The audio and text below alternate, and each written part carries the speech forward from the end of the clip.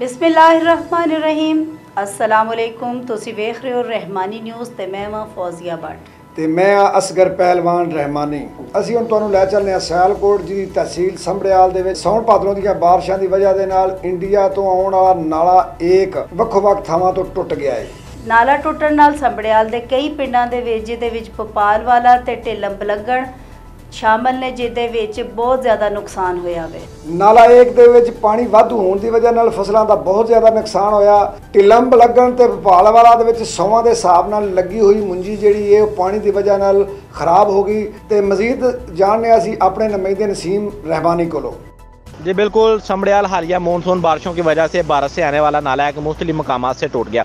नाला एक टूटने की वजह से समड़ियाल के मौजूद भोपाल वाला और मौजूद डेला में लगन मुतासर हुए। पानी का बहाव तेज़ होने की वजह से नाला एक का पानी ओवरफ्लो होकर फ़सलों में दाखिल हो रहा है, जिससे टिलम लगन और भोपाल वाला की सैकड़ों एकड़ पर खड़ी ध्यान की फ़सल मुकम्मल तौर पर तबाह होने का खदशा है।